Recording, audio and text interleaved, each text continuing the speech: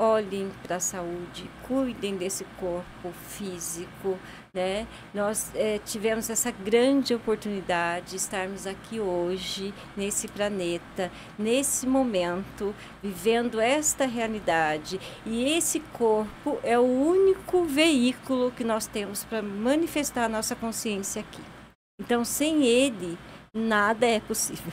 Então, para que tudo seja possível, nós precisamos cuidar desse corpo, dessa matéria, né, para que nós possamos aí seguir a nossa jornada, né, que é muito longa. A nossa passagem por aqui é curta, mas que ela seja é, com muita qualidade de vida, né, com muita harmonia, com muita alegria, né, e que ela seja é, totalmente, é, vamos dizer, livre de dor e sofrimento, porque nós causamos essa dor e sofrimento o tempo todo sem necessidade, muitas vezes, né?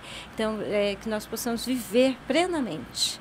Né? O universo é pleno, é abundante, é próspero, é saudável, né? Então, é, quando a gente tem esse olhar, né? É, de uma forma integrativa, de, de uma forma mais é, ampla para a nossa existência aqui nesse planeta e cuidando de todos esses níveis importantíssimos, nós estamos cuidando aí é, desse tempo, desse presente que foi nos dado, que é a vida.